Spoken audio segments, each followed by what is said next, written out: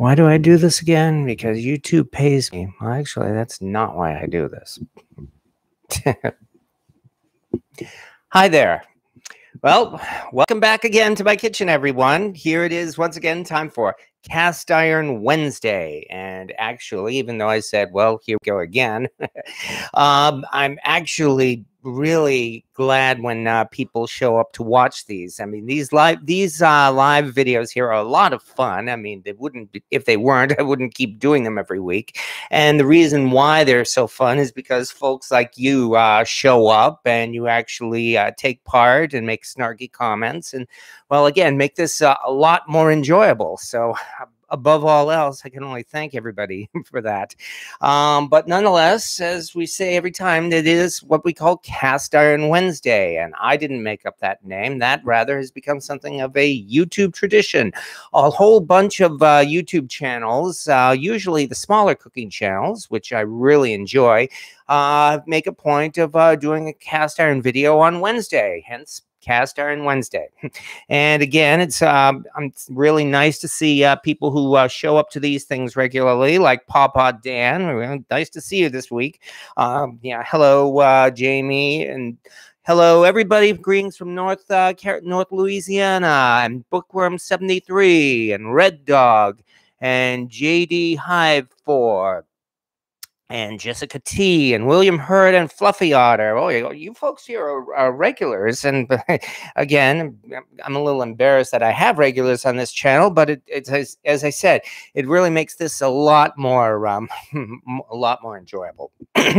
but um, anyway, on to the cast iron because, well, I'm sure you saw the uh, description of tonight's uh, you, uh, video, as well as pictures of a uh, modern Finex skillet and a vintage Erie skillet. Well, this kind of uh, the idea kind of came to mind when I was uh, cooking those steaks on Sunday for the 10th anniversary of the cast iron cooking group because um, I uh, had I made a couple of steaks and they and they came out very good. I'm glad about that.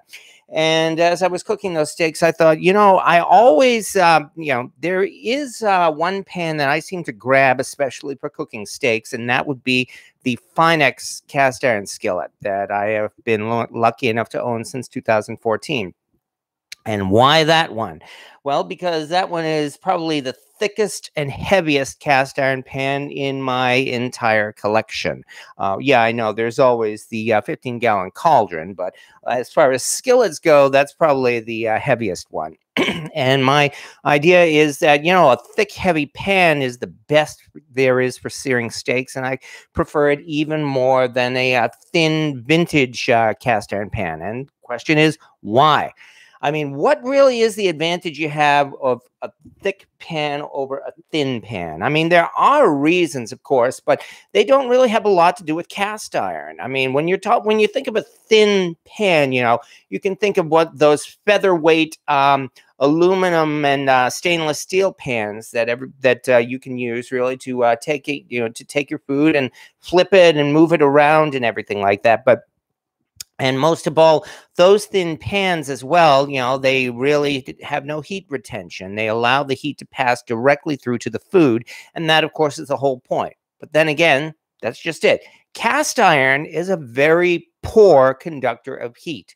What cast iron is really great at is heat retention.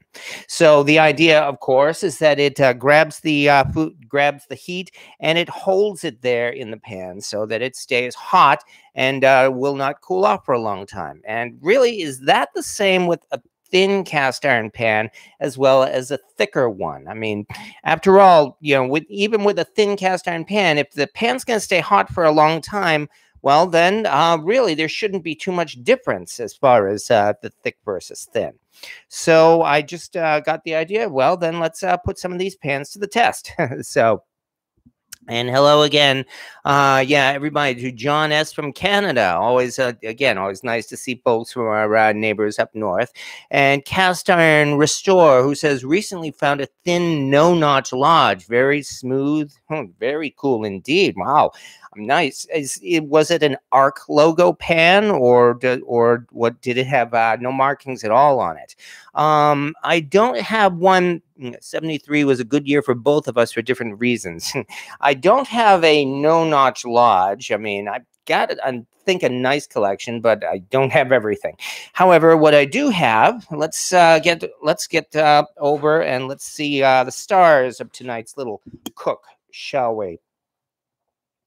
And what are we what are we going to be doing here? now, uh, the other thing people often say, of course, you know, is that uh, modern day cast iron is thick and heavy, and thin, and uh, vintage cast iron is thin and light, and that's not necessarily the case. That's why I've got a couple of specimens of each here.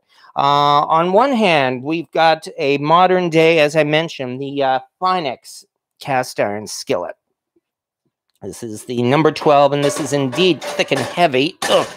And this is my, ugh, currently my bad wrist, so I got to be careful here. Ugh. On the other hand, uh, also modern, uh, we've got the Lodge Blacklock skillet, which is uh, notice is much easier for me to for me to lift with my uh, wrist here. So uh, this is the 10 inch uh, Blacklock, uh, which when I did the unboxing on this, I weighed this uh, out on a scale, and it weighed only about two ounces more than this vintage Griswold uh, Erie skillet. This one here uh, dates to about the year 1905 or so. It's a 10 inch, a number eight, that is. It's Erie, as you can see from the logo, made by Griswold before they started doing the Griswold logo. And this is indeed very light and thin. On the other hand, there was thick vintage cast iron as well, uh, among which is um, probably one of my all time favorite pans, which I've used many times. And that, of course, would be the Birmingham Stove and Range um, Red Mountain number eight here. So we've got uh, two modern day pans. And we've got two uh, vintage pans. We also have two thick pans and two thin pans.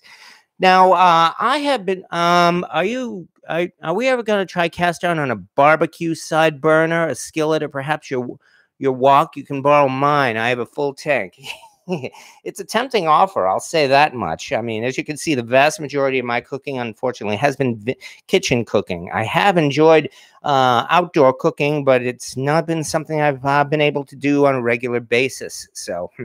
uh, Kevin Mass says, I prefer the thick ones. I bought a favorite and I hate it. Well, then I guess it's not your favorite. Um, that nice selection. Well, well, I do my best. Uh, how long were you here, and where did you stay? Um, I guess you're talking about outdoor cooking then. oh, you're sorry, you're talking to somebody else. My apologies. Anyway, let's get on with this, shall we? So, um, as I said, my plan is to uh, give these a little bit of a heat retention test to see uh, what we can do. Now, I have been uh, actually heating these pans up so that they are roughly around the uh, same temperature, more or less here. This one here seems to be at about 350 degrees or, or less. Um, the uh, Finex have also heated to about the same temperature. The Blacklock, um, actually, let me see. It looks like the Blacklock has, has uh, strangely cooled off a little bit, or may, more likely, my burner isn't that great. Uh, and the Erie, on the other hand, I've also managed to uh, get to, uh, let me do this right here. Yeah, I've also managed to get the Erie to uh, right around the same temperature as well. So based on all this, here's my plan. I'm going to take each one of these, take it off the heat, and uh, try to and uh, use just the residual heat of the cast iron pan to uh, cook an omelet or four omelets, or at least I hope I will.